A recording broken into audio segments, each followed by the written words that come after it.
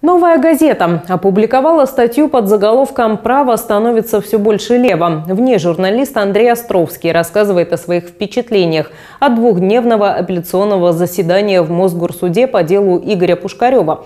Журналист вспоминает судью Алексея Криворучка, который отказался смотреть видеоматериалы по задержанию Павла Устинова и считает, что последние судебные скандалы слишком откровенно указывают на карательную, а не состязательную сущность правосудия. В новой газете журналист пишет.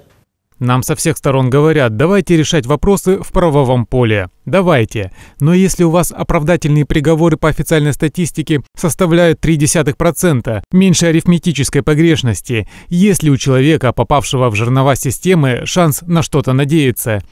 Есть тенденция, и она печальна. Карательный характер правосудия становится все более выпуклым. Это только на эмблеме у Фемиды чаши весов пребывает в равновесии. На практике, смотри статистику, можно говорить о слившейся в единое целое судебной силовой системе и защитниках-адвокатах, превращающихся в тюремных аниматоров.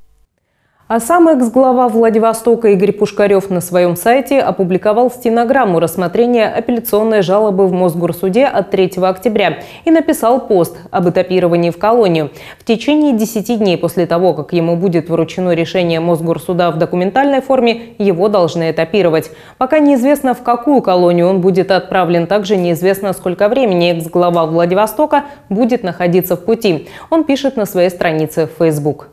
Я считаю, что за прошедшие 40 месяцев мучений и издевательств над нами и на предварительном и судебном следствиях, и на заседании в Мосгорсуде мы убедительно доказали всю абсурдность и нелепость предъявленных нам обвинений. Мы открыто излагали свои доводы, и каждый из вас мог и может с ними ознакомиться на моем сайте игорьпушкарев.ком. Желаю всем быть свободными, написал Игорь Пушкарев.